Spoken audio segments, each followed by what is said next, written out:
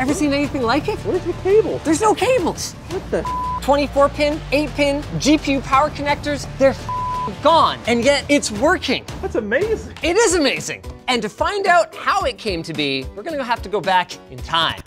In time. In, in time. Wow! Project Stealth PC DIY kit. What are you? You look like so much fun. I can't wait to play with you. Ridge. Ridge Wallet can hold up to 12 cards, comes with a cash strap or money clip, and makes a great gift for Father's Day. From May 20th to June 8th, 2022, you can get 15% off your order at ridge.com slash Linus.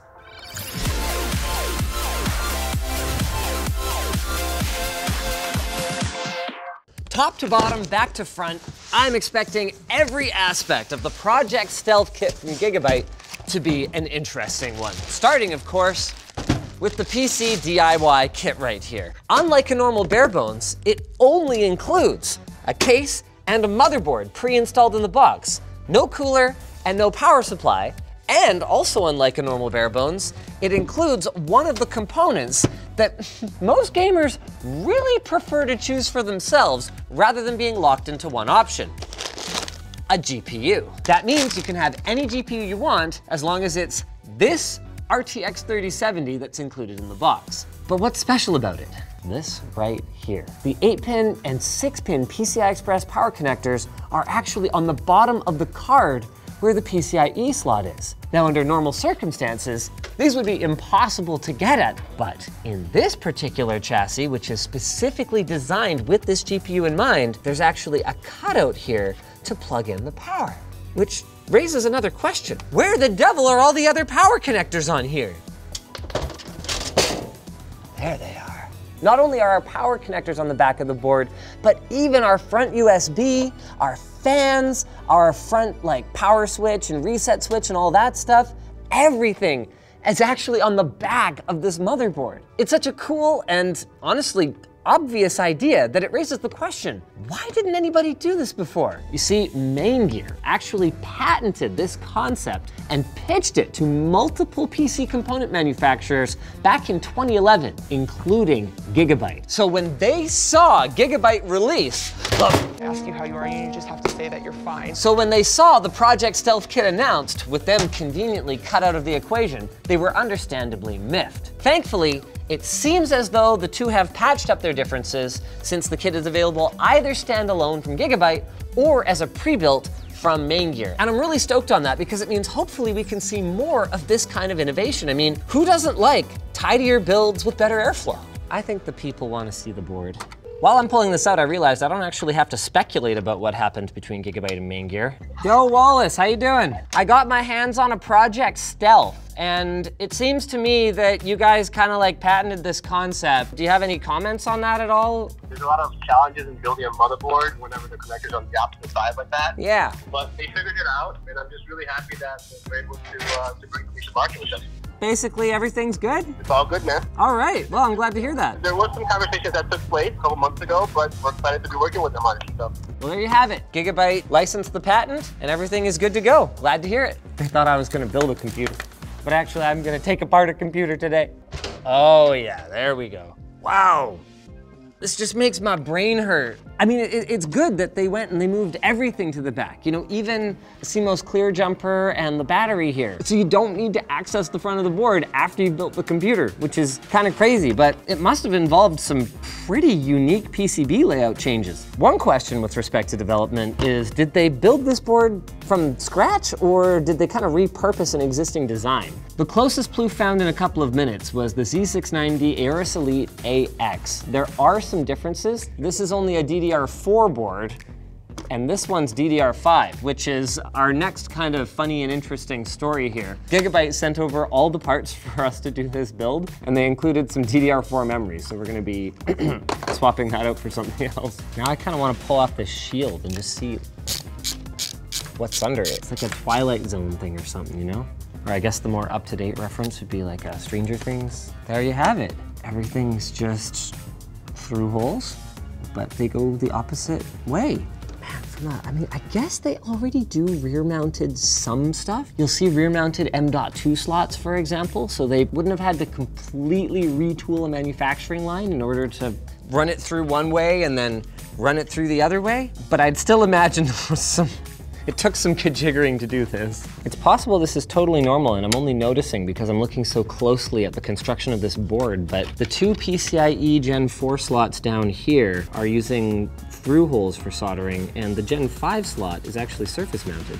For now, I wanna take a closer look at this chassis because as cool as Project Stealth is, if it locked you into these components, that would be a huge hit against its repairability and its upgradability. So I wanna make sure that we're also compatible with standard components. And just from a quick glance, it looks like we are because other than these extra cutouts down here, which realistically could just be used as cable management under other circumstances, there's nothing about this that would prevent you from putting a completely standard motherboard and standard graphics card in it. Kudos Gigabyte there. In fact, they've even got an upright PCIe GPU mount. Um, if you wanted to use a riser and like do that thing, which you obviously wouldn't for projects stealth unless, do they have another hole that corresponds to, they do not. That's a missed opportunity, Gigabyte. Should have a cutout right here. Then you could have your PCIe cables go up and you could do like a, a vertical mount as well. Jake's in charge of making sure I reach our production quota this week. He's not telling any stories about paint, is he?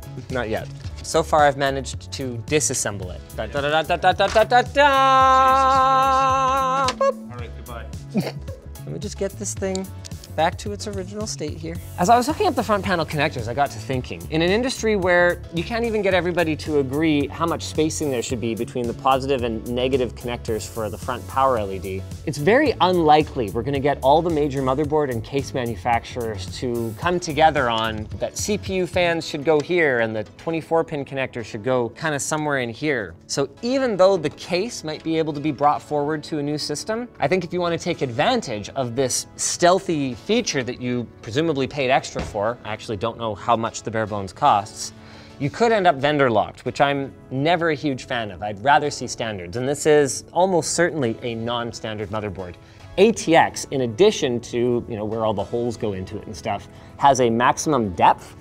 I'm pretty sure that this has got to be exceeding it, having all this stuff hanging off the back. The labels, actually on all these headers are super clear, which really goes to show how much easier building or repairing a computer could be if you had the major players cooperating. Anyway, Plouffe wanted to talk about this internal HDMI cable. Are they just reusing a chassis that used to have this as a feature and then they just didn't want to pay to retool this plastic bezel because I don't even think it's long enough to go out the back of the case. On the surface, it appears that this GPU uses a super special layout like the motherboard with these power connectors on the bottom. But what's actually going on here is that it's a short PCB card. See, the card actually ends here. And then there's a couple of little pigtails, a couple little leads coming from these flat PCIe connectors that we first encountered on a Gigabyte RTX 3090 on that Camino system recently. And then they come out to standard connectors that are just mounted to the backplate. So you can see there's little cables there. Totally standard PCB, other than that it's got that weird flat connector. What is the deal with that? We figured out the HDMI cable issue, but it seems to be part of a deeper problem. It's that Gigabyte mostly just repurposed their C300 chassis, which was not actually designed in the first place for this project. Case in point, we've got a three pin fan connector here that you can either plug into the CPU fan header, which is not optimal, or you can run down the front of your board, completely defeating the purpose of Project Stealth. Oh wow, this cutout is not actually quite big enough. It puts a bunch of strain on the plastic. Ah, and that's not because this fan header is not a CPU fan header, it's just because it's just really tight. Finally time to build. We've gone with a 12700 whoop, DDR5 memory, 32 gigs, 5600 mega transfers per second. Aorus sent over their Gen 4 7000 is that a model or is that a read speed? Oh no, it has a big heatsink on it. I can make it fit, Plouffe. You ready? Watch this. Oh yeah. That brings us perfectly to the most exciting part of our build. Gigabyte had a scandal recently with power supplies blowing up. This one probably won't, but dang it. Why am I taking these screws out by hand? When I have a trusty LTTstore.com screwdriver, you're gonna end up with really long cables for how short these runs are. I could see people definitely going for something like a CableMod kit and getting shorter cables for a build like this. I mean, it's not that you will actually see the extra cable lengths, but because this chassis wasn't really designed with Project Stealth in mind. There is not a ton of cable management space on the back of the motherboard tray. Could be a bit of a challenge. I'd like to see Maingear's take on a chassis for this. Does this case actually fit a 360 millimeter radiator? Wait, where's the air come from? It just has no airflow? Dang it, Gigabyte. What's the point of a fan filter with no airflow? What the hell? So you can't even get COVID through it. what the hell?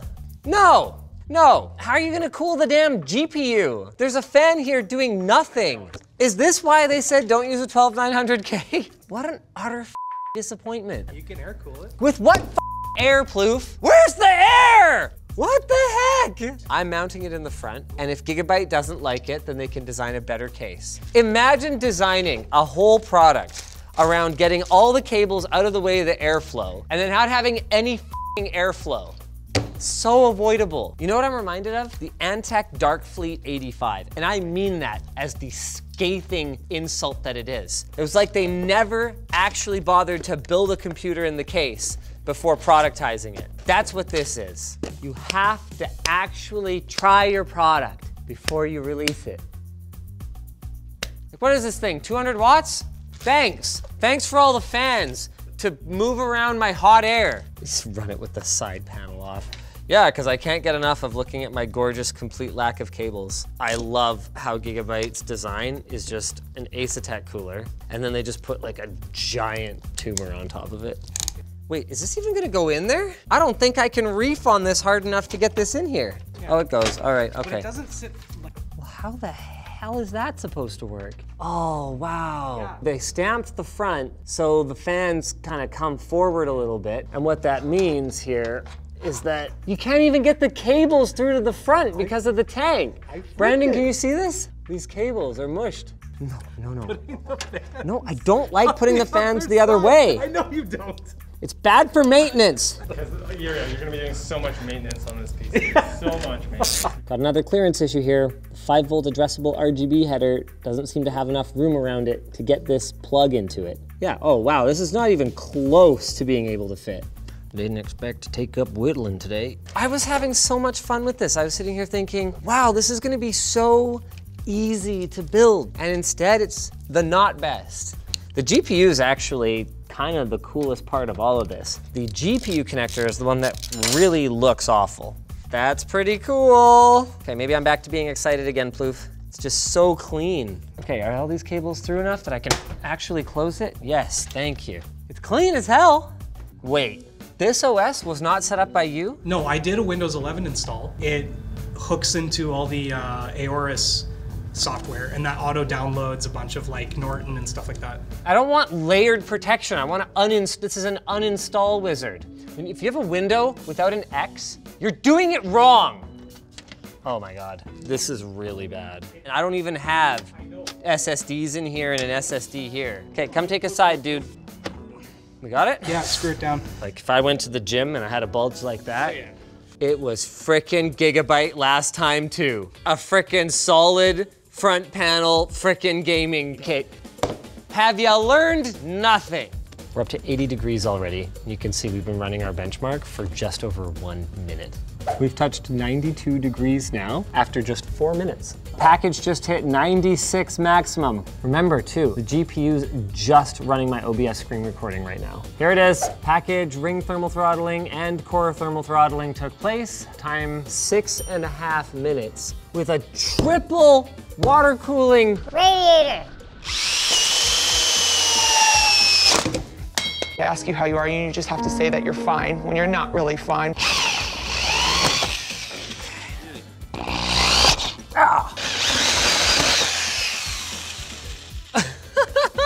Okay, so Cinebench is still running, and we are now down to 86 degrees on the CPU package. It's also still quiet. Man, now I really do wish I'd gone like a, like a three quarters of an inch higher, and we just had like a nice uh, tidy, tidy holes here. Just put some Modders mesh on there, and boom, done. And that's all we had to do to fix it. Great concept, poor execution. Unlike my execution of this segue to our sponsor, Pulseway. Imagine having the power to remotely manage all the devices on your network with just your voice. With Pulseway, you can do just that. Pulseway's all-in-one IT management platform helps you centrally control your desktops, servers, and network device. And they've got mobile-first functionality with their app, so you can get an intuitive and easy experience wherever you might be. Working out? No problem. Gaming with your friends? You don't need to lift a finger. In the shower? Pulseway has still got you covered. Whether you need to run a script, remotely connect to a system, reset a password, build an automation workflow, you can troubleshoot all of that and more with a simple voice command. And the best part? They're offering 20% off right now for our viewers. So what are you waiting for? Try Pulseway's remote management platform free and secure your discount today using the link down below. If you guys enjoyed this video, you know what? Go back two years and watch the all Aorus build where we had exactly the same problem. It was Aorus, sponsored build. They sent us a glass front panel case that had poor cooling.